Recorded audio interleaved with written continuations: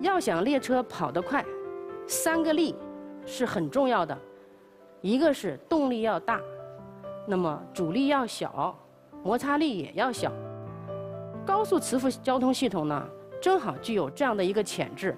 那么我们在这个头型的设计过程当中呢，我们也可以看到这个头型非常的漂亮，但是漂亮的颜值必须要能够发挥它的优良性能，才有价值。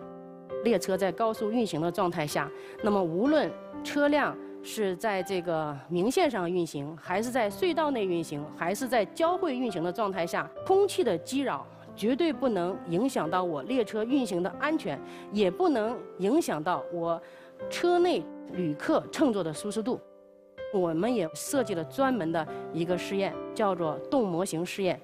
那么实际上，顾名思义，动模型就是让这个模型动起来。而且这个模型动的速度一定是要和你所需要的设计速度是一样的。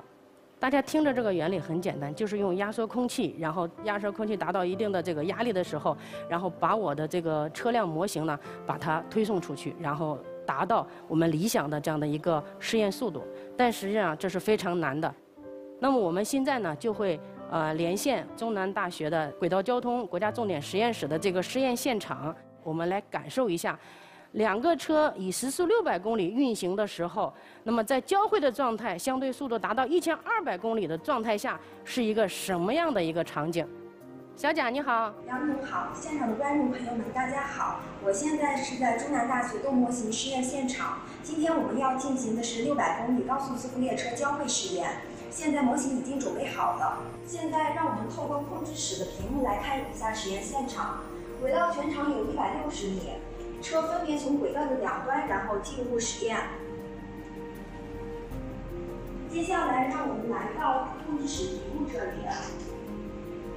一会儿车将要在这个地方交汇，所以请大家一定要盯紧这个轨道。这个实验仅仅需要一秒钟的时间，大家一会儿在看的时候、观看的时候一定不要眨眼睛。报告梁总，实验准备完毕。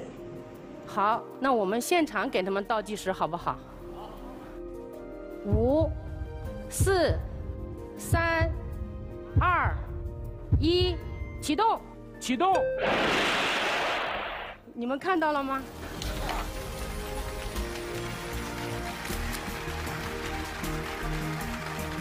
贾工，谢谢你给我们带来的这一秒钟的震撼的分享，谢谢你，再见。再见，杨总。再见。